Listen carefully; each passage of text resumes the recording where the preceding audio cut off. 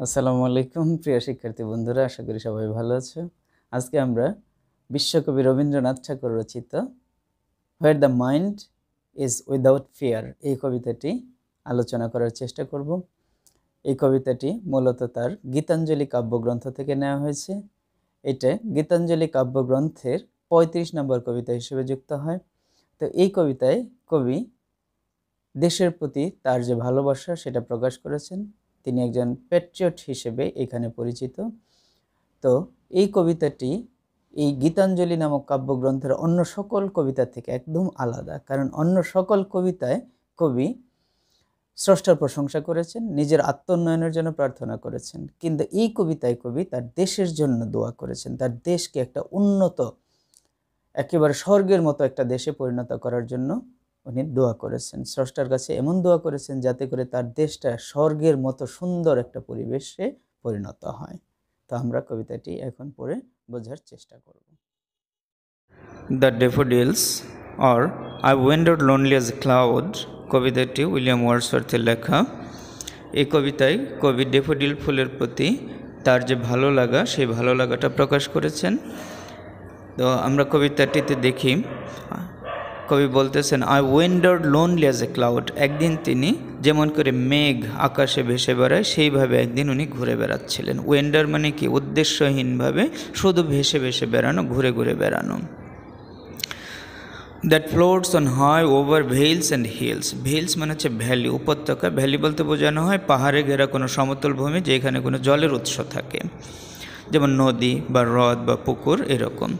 Hills মানে পাহাড়। তাহলে I wander lonely as a cloud that floats on high over vales and hills যেরকম করে মেঘ, পাহাড় এবং উপত্যকার উপর দিয়ে ভেসে বেড়ায়, আমি ঠিক তেমনি করে একদিন ঘুরে বেড়াচ্ছিলাম। When all at once I saw a crowd যখন হঠাৎ করেই আমি একটা অনেকগুলি ডেফোডিল ফুলের ভিড় দেখতে পেলাম, অনেকগুলি ডেফোডিল ফুল একসাথে দেখতে পেলাম। আর হোস্ট হোস্ট বলতে বোঝানো হয় একই ধরনের জিনিসের ব্যাপক সমাহার। অনেকগুলি একই ধরনের জিনিস একসাথে থাকলে সেটাকে বলা হয় হোস্ট তাহলে হোস্ট যেন অনেকগুলি ডেফোডিল ফুলের সমাহার অব গোল্ডেন ডেফোডিল সেগুলি কেমন ডেফোডিল সোনালি রঙের ডেফোডিল ফুল। একসাথে ফুটেছিল, সেটা কবি দেখতে পেলেন। বিসাইড দ্য লেক লেক বা হ্রদের পাশে। এইখানে সেই ওলস ওয়াটার নামক লেকের কথা বলা হচ্ছে, যেটার মধ্যে তিনি বেড়াতে গিয়েছিলেন এবং সেইখানেই উনি এই ডেফোডিল ফুলগুলি দেখেছিলেন। তাহলে বিসাইড দ্য লেক সেই লেকের পাশে বিনিথ দ্য ট্রিজ সেখানে যে গাছগুলি ছিল, গাছের নিচ দিয়ে অসংখ্য ফুল ফুটে আছে। বিনিথ মানে নিচে আন্ডার ফ্লাটারিং ফ্লাটার মানে কি, দোলা, ঝাপটা লাগা। তাহলে বাতাস, বাতাসের ঝাপটায় সেগুলি দোলতেছিল। অ্যান্ড ড্যান্সিং যেন নাচতেছিল ইন ব্রিজ ব্রিজ মানে বাতাস। তাহলে বাতাসে সেগুলি ঝাপটা লাগতেছিল, দেখে যেন মনে হচ্ছিল ফুলগুলি নাচতেছে। দ্বিতীয় স্ট্যান্ডাতে কবি বলতেছে continuous as the stars that shine and twinkle on the milky way milky way মানে হচ্ছে ছায়াপথ বা গ্যালাক্সি যে গ্যালাক্সিতে আমাদের সূর্যটা রয়েছে। তাহলে continuous as the stars that shine আমরা আকাশের দিকে তাকালে যেরকম দেখতে পাই যে মিট মিট মিট মিট করে তারকাগুলি জ্বলতেইছে জ্বলতেইছে, ঠিক সেই রকম যেন অসংখ্য ডেফোডিল ফুল ফুটেছিল, যেগুলি মনে হয় কি সারাক্ষণ আনন্দ দিয়ে যাচ্ছে দুলতেছে। তাহলে কন্টিনিউয়াস অসংখ্য, যার কোনো শেষ নাই অ্যাজ দ্য স্টার্স যেরকম তারারা দ্যাট শাইন তারারা যেরকম অসংখ্য, সেরকম অসংখ্য ফুল that shine and twinkle on the milky way যেগুলি ছায়াপথে মিটমিট করে জ্বলতে থাকে এবং আলো দেয়।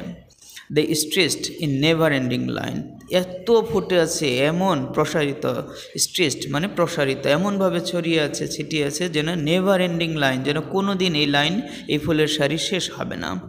Along the margin of the bay bay বলতে বোঝানো হয় কোনো বড় জলাশয়ের যে অংশটা একটু বক্রাকারে, অর্ধবৃত্তাকারে স্থলভাগের ভিতরে ঢুকে গেলে সেই অংশটাকে বলা হয় বে তাহলে অর্ধবৃত্তাকারে কোনো জলাশয়ের একটা অংশ যদি স্থলভাগের ভিতরে ঢুকে যায়, সেটাকে বলা হয় বে।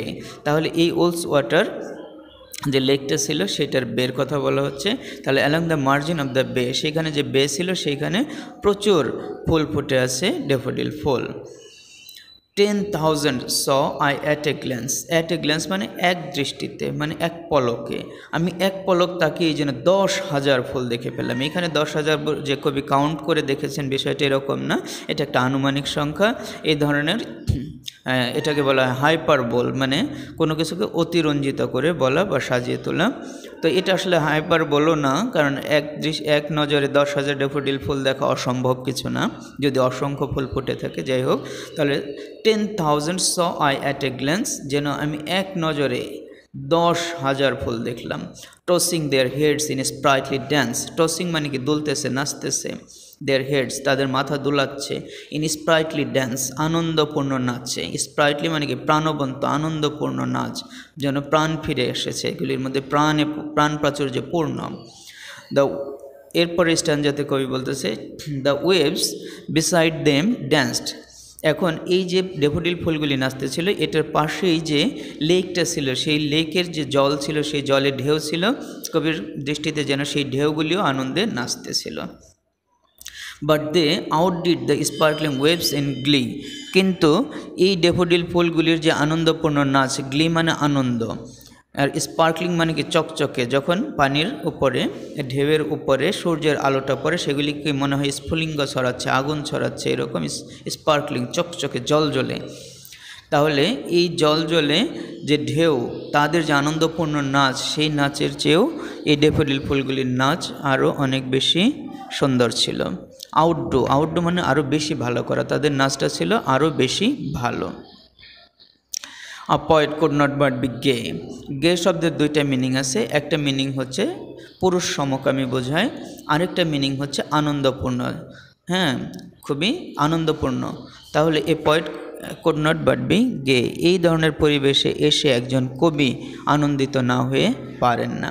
In such a jocund company jocund মানে আনন্দপূর্ণ জয়ফুল জয়াস হ্যাপি তাহলে এরকম একটা চমৎকার পরিবেশে এসে একজন কবি আনন্দিত না হয়ে থাকতে পারেন না।